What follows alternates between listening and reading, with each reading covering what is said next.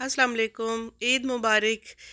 कैसी रही आप सबकी? ईद हमारी अल्हम्दुलिल्लाह बहुत अच्छी ईद गुजरी है। हम, मैंने ईद में शीर खुरमा बनाया था और इसके अलावा हमें श्योर नहीं था तो वो ईद की टेबल इतनी ज़्यादा डेकोरेट नहीं की गई, लेकिन बहरहाल जितनी भी मैं कर सकी, मैंने ईद की टेबल डेकोरेट की।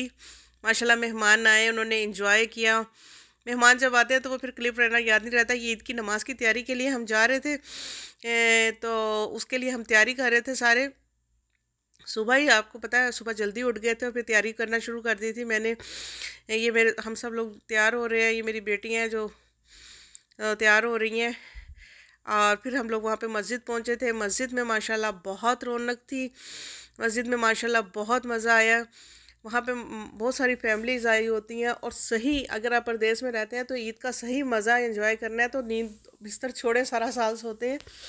आप मस्जिद जाएँ और उस उस टाइम को एंजॉय करें कि वहाँ की, माशाल्लाह, इतनी रूहानियत होती है, इतनी गहमा गहमी इतना जोशो खरोश लोगों का नज़र आता है तो बहुत मज़ा आता है लोगों के ड्रेसेस लोगों के मेकअप और एवरीथिंग फ़ूड बहुत मज़ा आता है। ये फिर मस्जिद में नमाज़ के लिए हम सब बैठे, वो खुद सुन रहे थे, इसमें मेरी बेटियाँ भी ये बैठी हैं, मेरी छोटी बेटी की, अल्हम्दुलिल्लाह, माशाल्लाह, ये पहली ईद है। और इसने ये जो है ना, बड़ा अपनी इस ईद को एंजॉय किया। ये भी सुबह हम सब के साथ सुबह ही उठ गई थी, तैयार हुई है और बड़ा हैप्पी थी। अपनी बहनों के साथ बहुत खेल रही थी इंजॉय कर रही थी और इसने मुझे मस्जिद में भी अल्हम्दुलिल्लाह तंग नहीं किया, बल्कि नमाज़ के टाइम तो ये सो गई थी, जिसकी वजह से मैंने बड़े आराम से नमाज़ अदा कर ली थी। और मस्जिद में माशाल्लाह मुझे छोटे छोटे बच्चों के फ़ैशन देखने का बड़ा मज़ा आता है। बड़ों को तो नहीं मैंने इतने रिकॉर्ड किए, क्योंकि कुछ पर्दे और उसके हिजाब की बात होती है। वैसे लोग बुरा, कुछ लोग बुरा मानते हैं, कुछ नहीं भी मानते लेकिन फिर मुझे अच्छा नहीं लगा, इसलिए मैंने किसी के ड्रेसेस वगैरह ज़्यादा नहीं लिए। लेकिन छोटे छोटे बच्चों के फ़ैशन ज़रूर मैंने इसमें कुछ ऐड किए हैं। इसके अलावा यहाँ पे बच्चों के लिए बड़ी उन्होंने वो की थी, टेंटिंग वगैरह की हुई थी, बच्चों के लिए जंपर्स लगाए हुए थे, ये बॉयज़ के लिए था और इस साइड पे गर्ल्स की साइड में गर्ल्स के लिए था और बच्चे इसमें बड़ा ही इंजॉय करते हैं।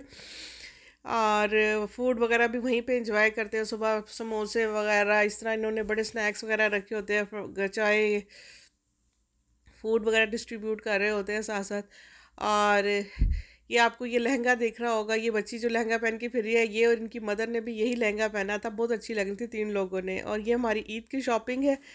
ये मेरी बेटी के शूज़ थे, ये मेरी दूसरी बेटी के शूज़ थे, ये मैंने सादे शूज़ लिए थे। मैंने ज़्यादा कंफर्टेबल शूज़ ही पसंद किए हैं। इसके अलावा ड्रेसेस ये हमारे बैग थे। ये मेरा बैग था और ये मेरी बेटी के लिए ने पसंद किया था जिसी पैनी से। और ये जो से है ना ड्रेसेस पाकिस्तान से हम लोग लेकर आए थे।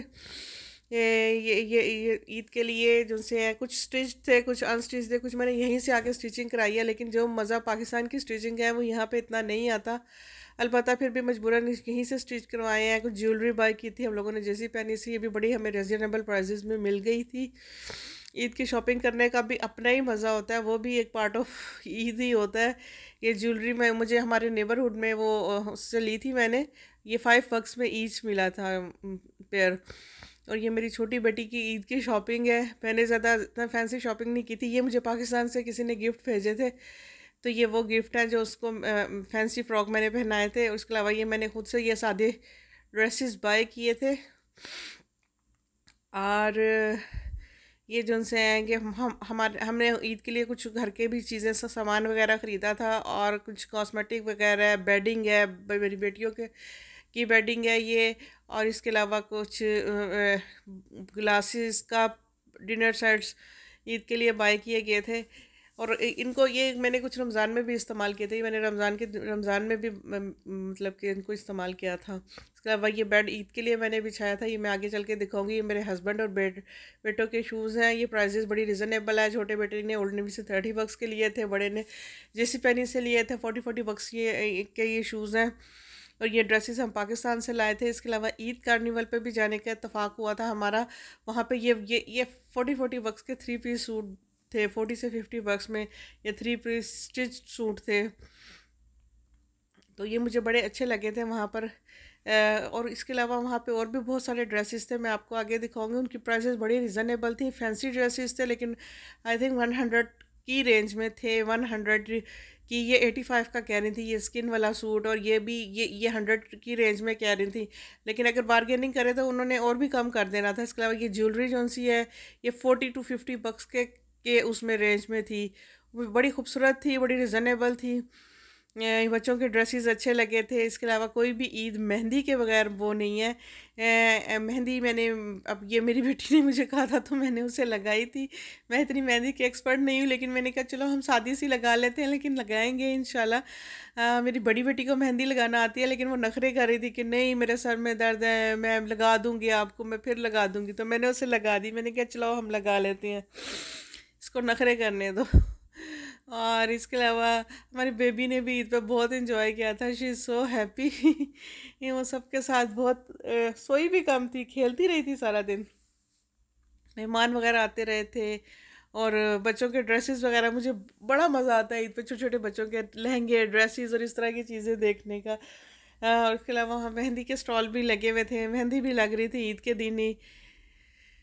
और बहुत बहुत माशाल्लाह गहमा गहमी थी हल्ला गुल्ला था। दूसरे दिन भी हम आ, हम लोग इस हमारे घर मेहमान भी आ गए थे। वो फिर उसके बाद हम लोग किसी एक पार्टी पे भी गए थे। लेकिन वहाँ का एक्सपीरियंस इतना अच्छा नहीं था वो मैं व्लॉग कर नहीं सकी साथ। तो बस ये आज हमारा ईद का दिन था जो कि अल्हम्दुलिल्लाह शुक्र अल्हम्दुलिल्लाह बहुत अच्छा गुजरा। मैं उम्मीद करती हूँ कि आप लोगों की भी ईद बहुत अच्छी गुजरी होगी और अल्लाह आप लोगों को ऐसे अच्छी खुशियाँ देखना नसीब करे। आमीन।